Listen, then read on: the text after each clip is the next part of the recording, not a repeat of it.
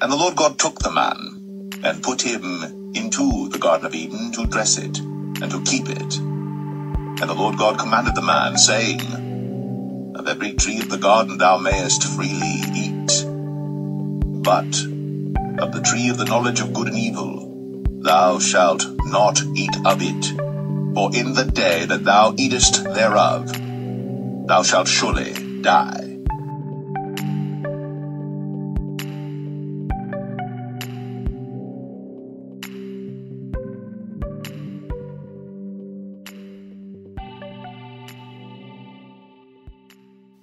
Every time the Most High revealed truth by speaking his words through his people, the workers of iniquity in the form of trolls come to cause confusion. Suddenly, the children of Satan have the answers to the mysteries of life. The synagogue of Satan proclaim that they don't know the origin of the other species of mankind. They say they can't confirm the appearance of the first humans, Adam and Eve. However, in the beast culture, Adam and Eve are depicted to be white. The church depict the Messiah to be white. The workers of iniquity proclaim that the Most High is also white. If whiteness is the foundation, how come the Most High gave black people the superior genes in every land on this earth? Black people did not have to steal nor colonize any land. The Most High scattered the indigenous black people to all the land on this earth. So the Lord scattered them abroad from thence upon the face of all the earth, and they left off to build the city. Therefore is the name of it called Babel, because the Lord did there confound the language of all the earth, and from thence did the Lord scatter them abroad upon the face of all the earth. The Most High distributed all the land on the earth to Noah's three sons and their descendants. Shem inherited the middle of the earth. Japheth inherited the northern regions of this world. Ham inherited the southern regions of the earth. All three men are indigenous black men. That is how the other species of mankind are finding black people everywhere they go. The other species of mankind believe they are the original people to all the nations. Until this day, they are trying to convince themselves and the indigenous black people that Egypt is white, despite Mizraim being Ham's son. Now that we're going behind the scenes to get to the root, the workers of iniquity are proclaiming that there were other humans before Adam and Eve. They say this to cause confusion. Israelites, the Most High is not the author of confusion. But God is not the author of confusion, but of peace, as in all churches of the saints.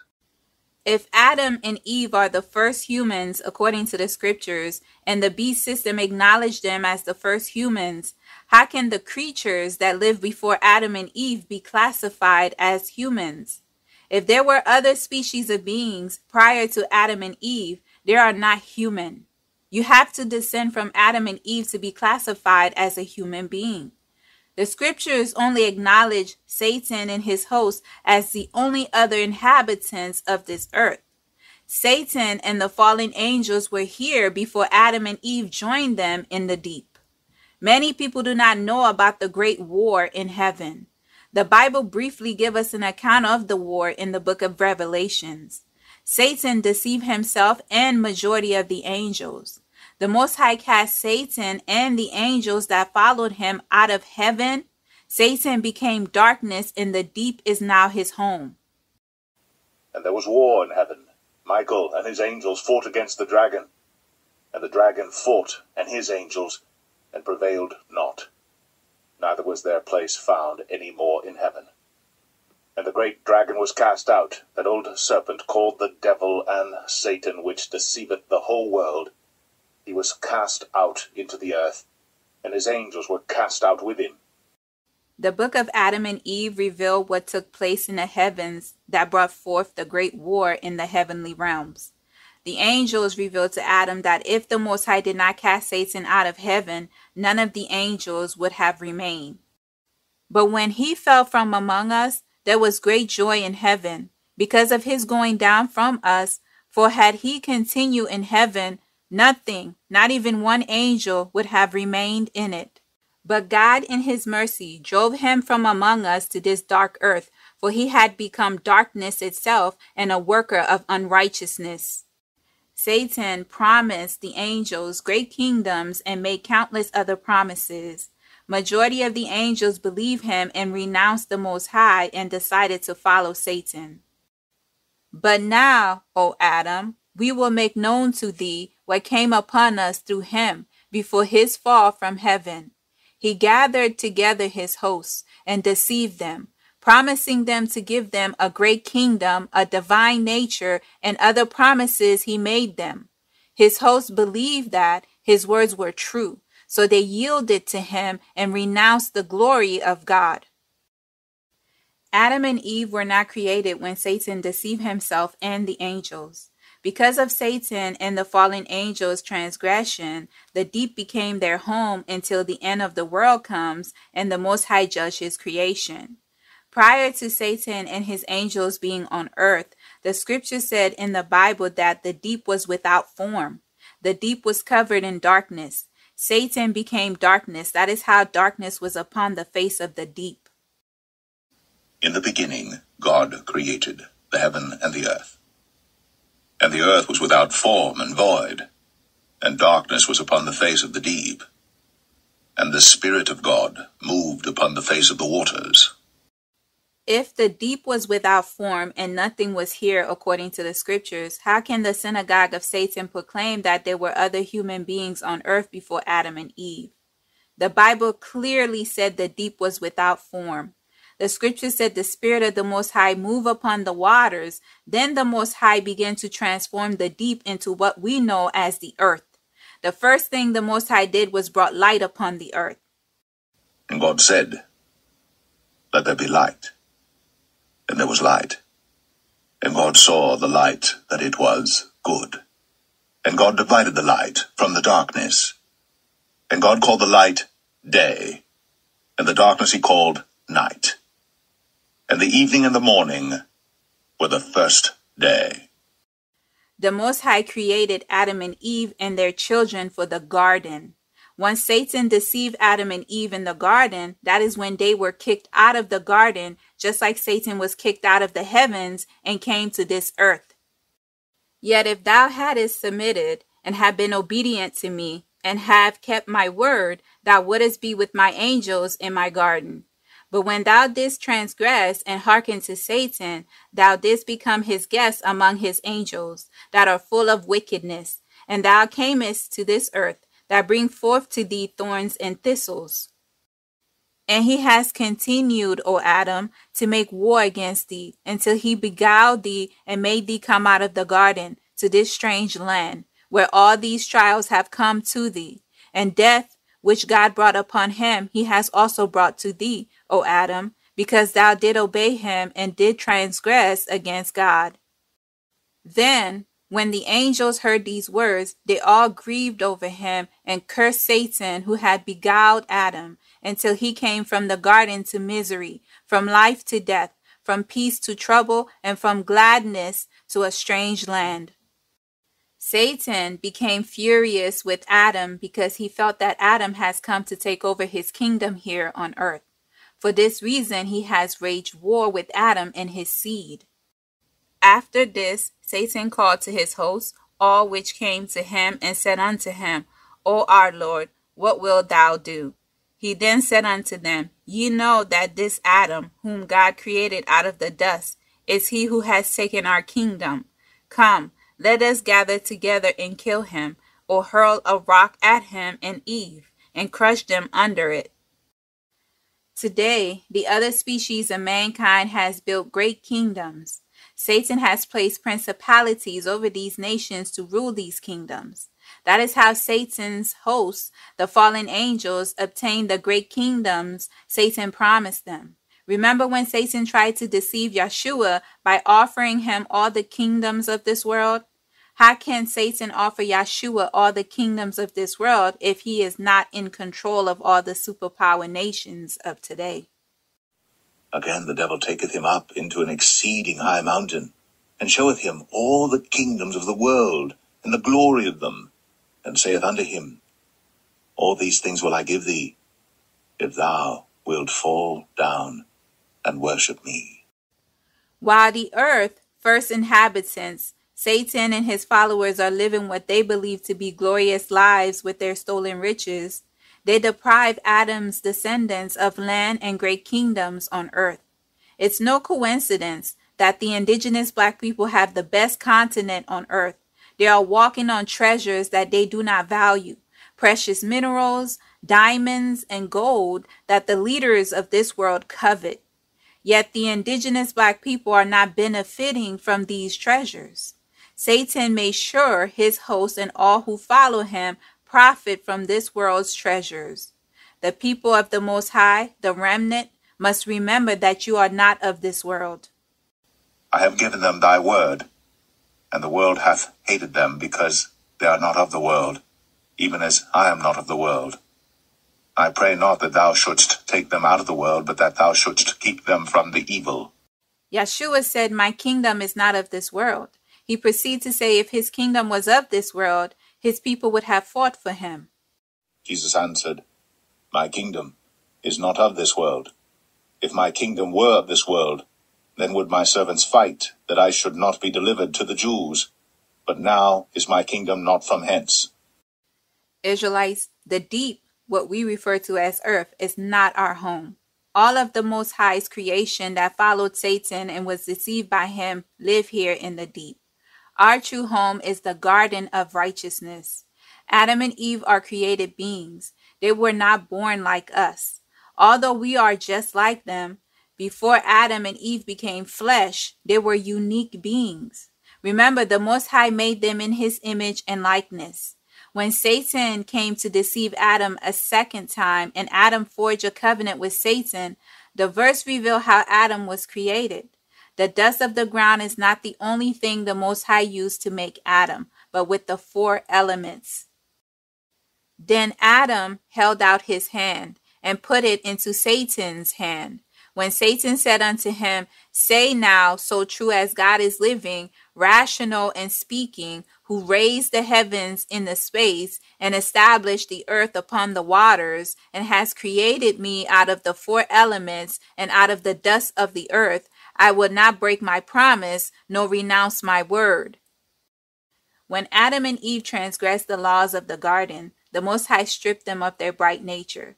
The book of Adam and Eve said the Most High had mercy on them. Instead of killing them, the Most High gave them a body that can tolerate the elements on earth. But when I heard of thy transgression, I deprived thee of that bright light. Yet of my mercy I did not turn thee into darkness, but I made thee thy body of flesh, over which I spread this skin, in order that it may bear cold and heat. And indeed, when Adam looked at his flesh that was altered, he wept bitterly, he and Eve, over what they had done, and they walked and went gently down into the cave of treasures. The Most High gave them flesh and melanin. Melanin protect the indigenous black people from the sun harsh UV and from many other things. The animals have melanin, the plants have melanin, the other species of mankind have a strange form of melanin.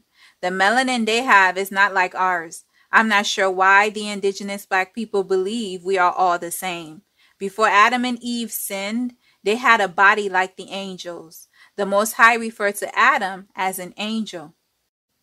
And Adam said, after he was raised, O God, while we were in the garden, we did not require or care for this water, but since we came to this land, we cannot do without it. Then God said to Adam, While thou wast under my command and was a bright angel, thou knewest not this water. The book of Enoch said in chapter 69 that man was created like the angels. For men were created exactly like the angels to the intent that they should continue pure and righteous, and death, which destroys everything, could not have taken hold of them. But through this their knowledge they are perishing, and through this power it is consuming me. Adam and Eve before the fall were angelic beings.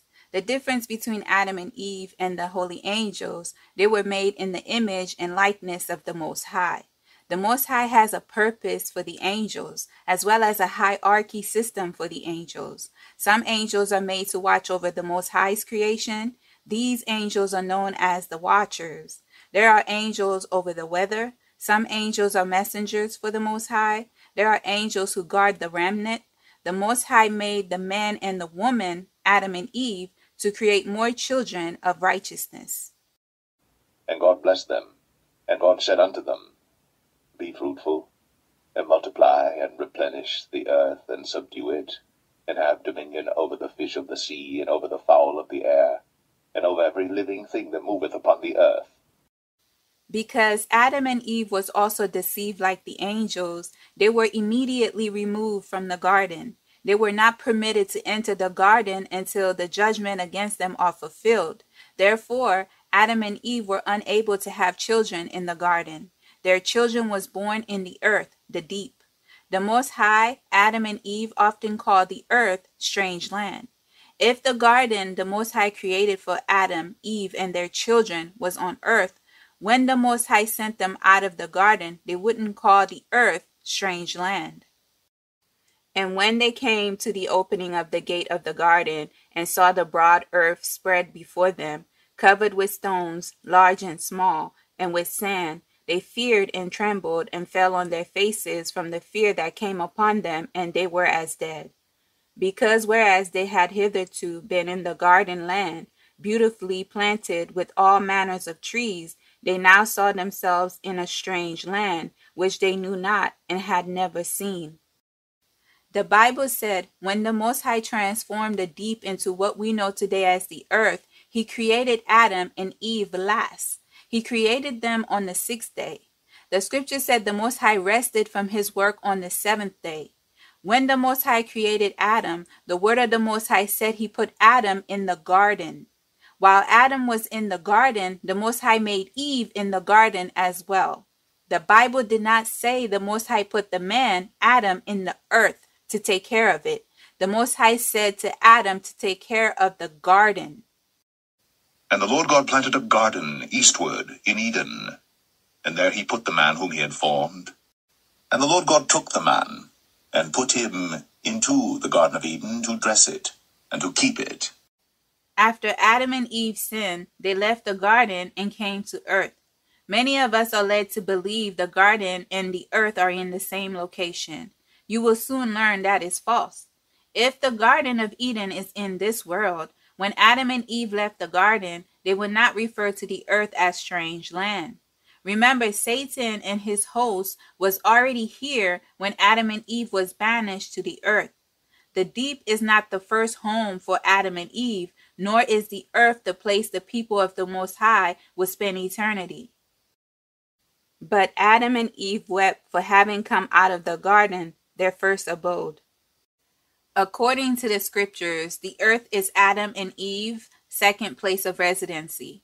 The deep is the place the Most High placed the seed of Adam to carry out the judgment that was decreed against Adam and Eve, as well as the place all the followers of Satan dwell. Once the judgment against Adam and Eve are fulfilled, the garden is where the righteous seed of Adam will dwell. The deep was never the place the Most High created for his children to dwell. As I stated before, the Most High created his children to live in the garden. The garden and the earth are not the same. Then Adam said unto God, O Lord, thou didst create us and make us fit to be in the garden. And before I transgressed, Thou madest all beasts come to me that I should name them. Israelites, it is important to know that the Most High placed Adam and Eve in the garden when he created them. The workers of iniquity who assist Satan in changing history and altering the scriptures has misled many to believe the Garden of Eden is in the Middle East. Most historians and scholars say modern Iraq is where the Garden of Eden is located. If the garden was in the Middle East, how come we can't find it, nor see the angels that dwell there currently? Some people say the flood destroyed the garden. There's no supporting scriptures that said the garden was destroyed. There are many scriptures that state the garden still exists. About 300 holy angels of the Most High dwell there and taking care of the garden.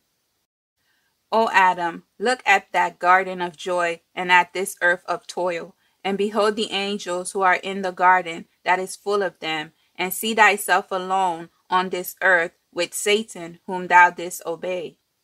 Yet if thou hadst submitted and had been obedient to me, and have kept my word, thou wouldest be with my angels in my garden. But when thou didst transgress and hearken to Satan, thou didst become his guest among his angels, that are full of wickedness, and thou camest to this earth, that bring forth to thee thorns and thistles. Then God had pity on them and showed them mercy, and sent his angel to keep the garden. And there are three hundred angels, very bright, who keep the garden, and with incessant sweet singing and never silent voices serve the Lord throughout all days and hours. The scripture said that the Most High placed a cherub with fiery sword guarding the garden to prevent Adam and Eve from entering the garden when they were kicked out of the garden. Until this day, the angels of the Most High are tending the garden and the cherub are still guarding the garden. Additionally, Yeshua said, In his Father's house there are many mansions. He will go to prepare a place for the righteous. That place is in the Garden of Eden. And the cherub who guarded the garden was standing at the western gate and guarding it against Adam and Eve, lest they should suddenly come into the garden. And the cherub turned around as if to put them to death, according to the commandment God had given him. Therefore the Lord God sent him forth from the Garden of Eden to till the ground from whence he was taken.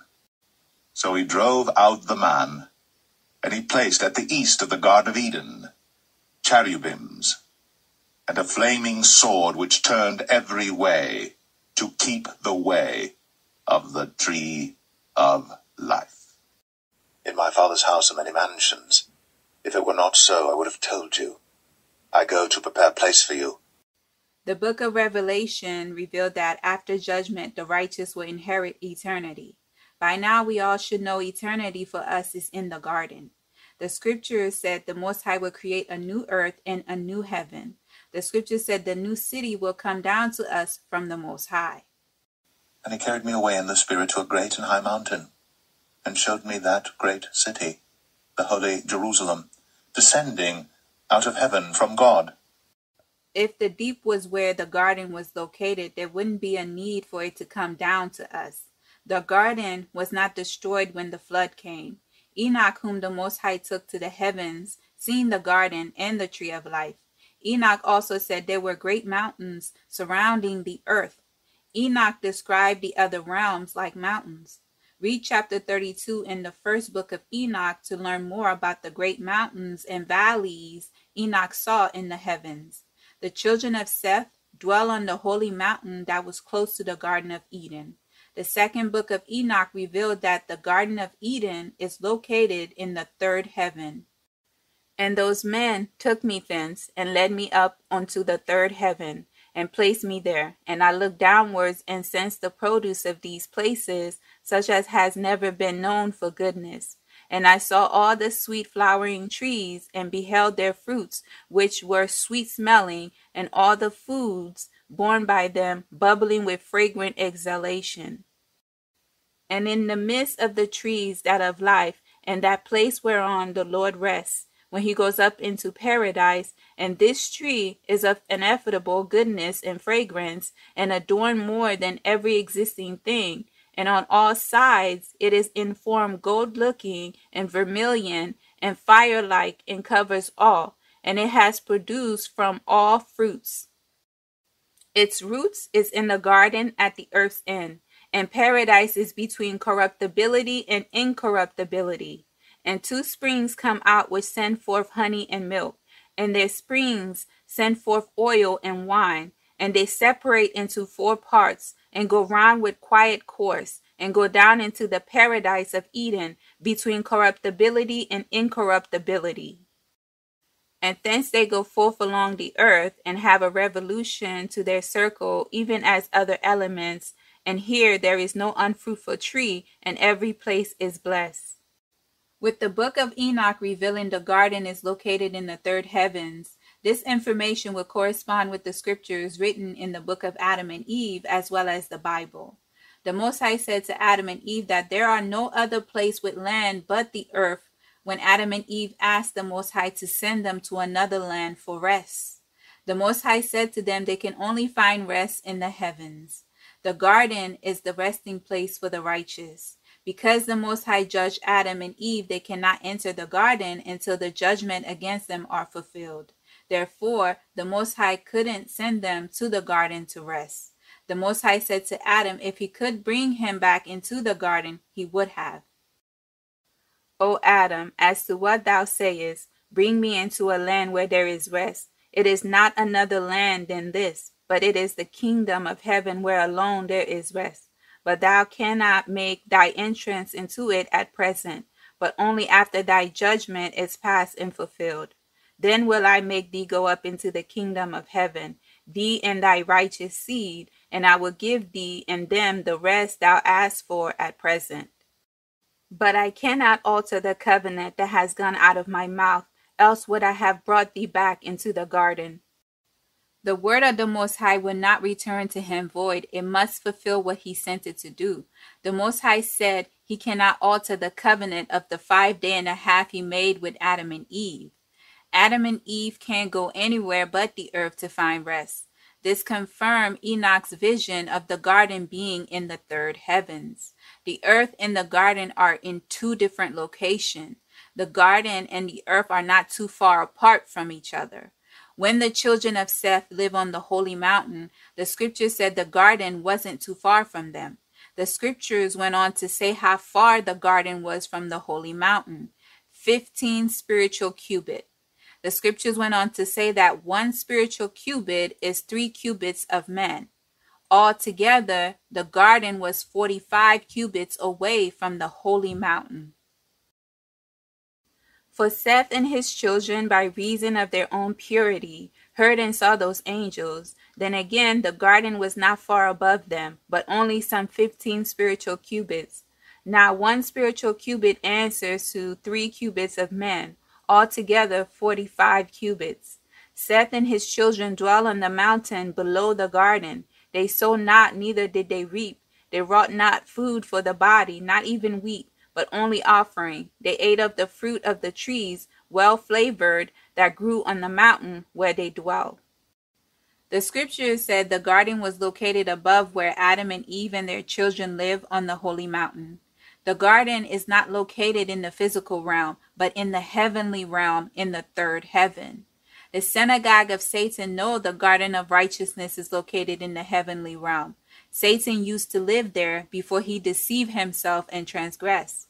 Israelites, another reason Satan is angry against Adam and his seed. The Garden of Eden was his home when he was a bright angel. When he sinned, the Most High created Adam and Eve and placed them in the garden.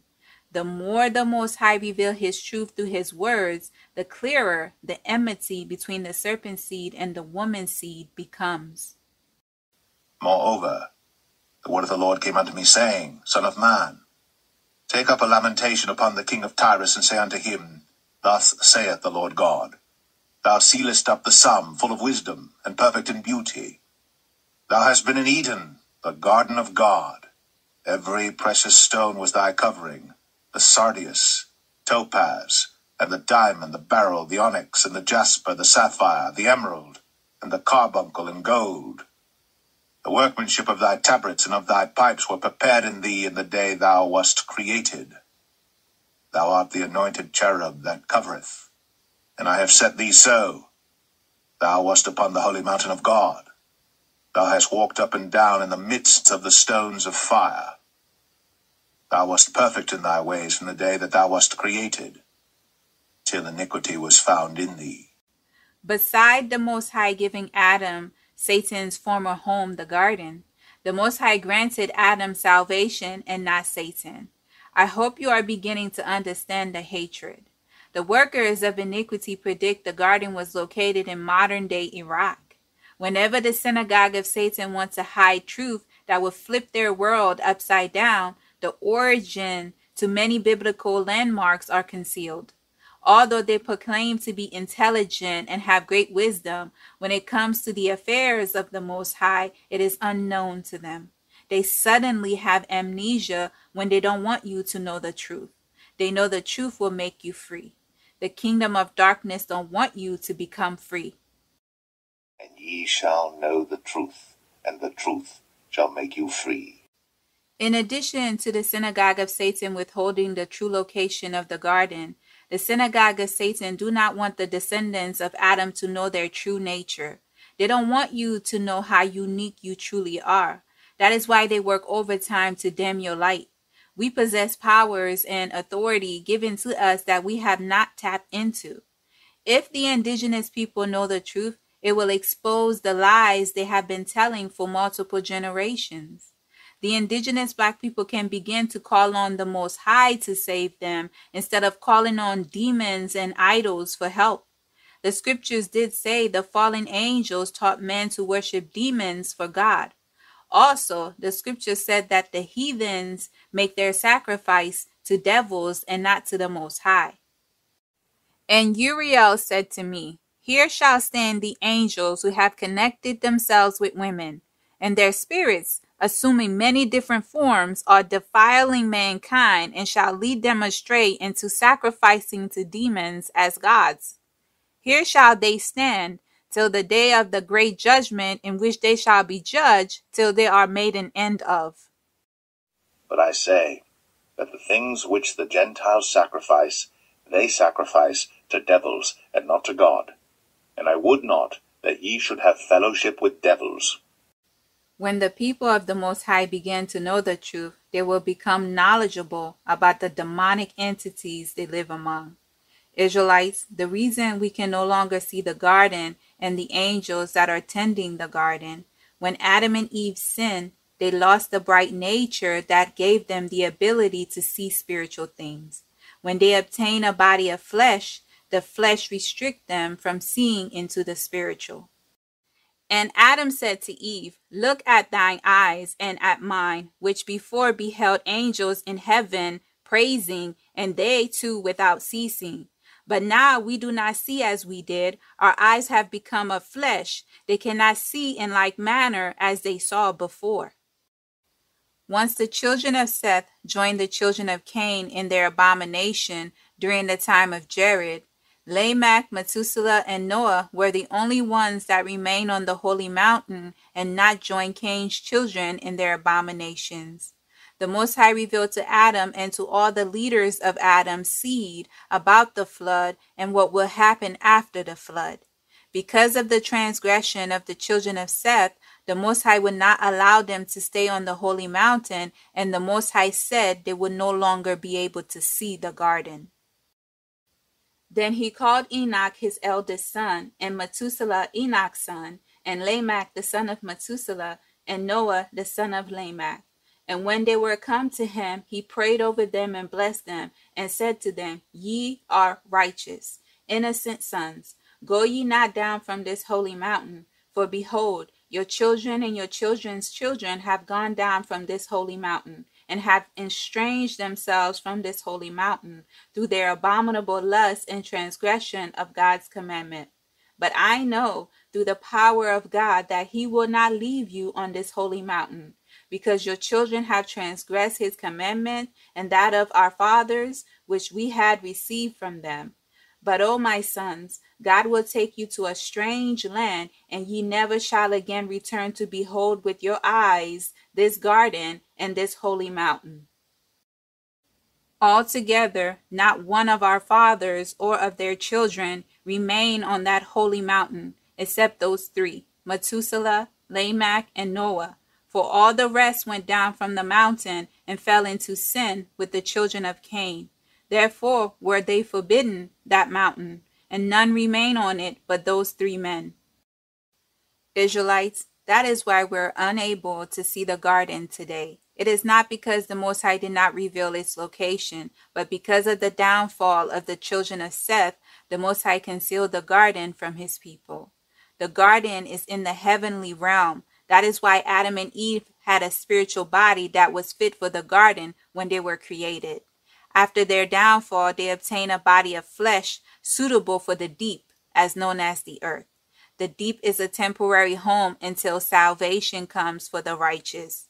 The Most High said, In the last days, knowledge would increase.